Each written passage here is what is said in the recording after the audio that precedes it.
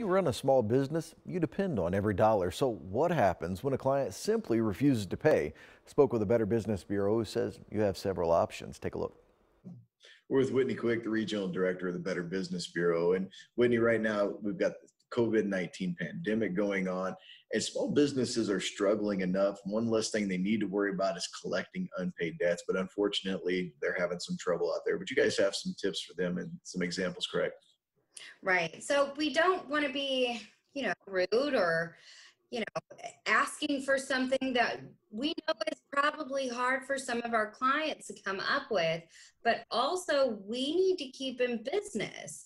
So if you've got some unpaid invoices, um, some of the tips that we have are maybe resend your invoices with a polite follow up message always remember be very polite in this because as we've said before you know when the dust settles we are going to remember how we treated each other and how businesses treated um, their clients and consumers and things like that.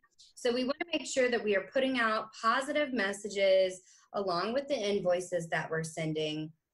Also you can reach out by phone or if you safe enough to stop by in person, um, you can do that. But if you're not getting payment for the work that you're doing, stop immediately because we don't want to go any further into debt with a client who's not going to be able to pay. So make sure that you stop um, as soon as you find out if they can't pay you at this time and maybe reconsider in the future whether or not you want to continue.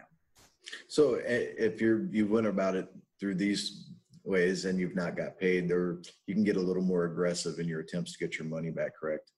Absolutely. So you can consider hiring a collection agency. Um, also, send an attorney's letter. You can take a client to small claims court. Um, you can seek legal action. I would definitely recommend that if you are in that position and if it is a significant amount of money, talk to a lawyer figure out if this is something that you want to do. Also, Better Business Bureau does arbitration and mediation. So if this is something that we can help you with, you can go to bbb.org and we can do that for you. Um, and also decide whether or not you want to continue this working relationship with the client. Okay, and these are all good tips. And you guys have this up on your website too, some links, correct? Absolutely. And then finally, make sure that you have a solid contract because that's going to help you uh, be able to go after any money that's owed for you.